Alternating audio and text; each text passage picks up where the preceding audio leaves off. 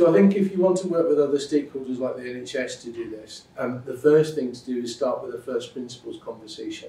What are we both trying to achieve? What does the system science behind this tell us what we need to do?